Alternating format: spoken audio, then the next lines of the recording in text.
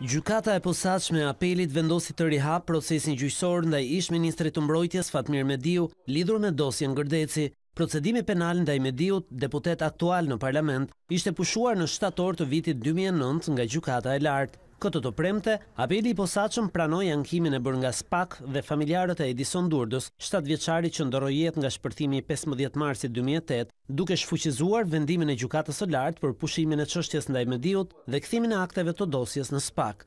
Verdikti i Apelit u konsiderua si absolutisht i pavlefshëm, si antikushtetues dhe në shkelje të Konventës Europiane për të Drejtat e Njeriut nga avokati mbrojtës i Mediut. Është hera e parë në jurisprudencë kur një gjyqtare e një gjykate të nivelit më të ulët prish vendimin e Gjykatës së Lartë. Veç të tjerave, shkelja e ligjit është e dukshme, sepse e njëjta çështje është shqyrtuar dhe hedhur poshtë nga Gjykata e Shkallës së Parë dhe Gjykata e Apelit Tiranë në vitin dy mijë e nëntëmbëdhjetë. Ky vendim, hapur, cënon parimin e sigurisë juridike, parimin e gjësë së gjykuar, parimin e ligjit favorizues dhe, për më tepër, synon procedimin për një akuzë afati parashkrues i së cilës ka kaluar me kohë.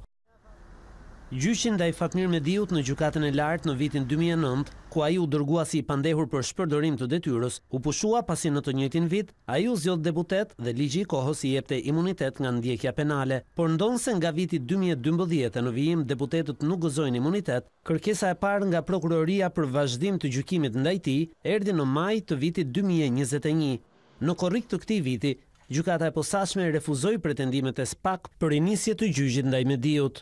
Gjykata e Posaçme arsyetoi se për më shumë se dhjetë vite, Prokuroria nuk kishte ushtruar ndjekjen penale ndaj ish-ministrit, ndonëse nuk kishte pasur asnjë pengesë ligjore.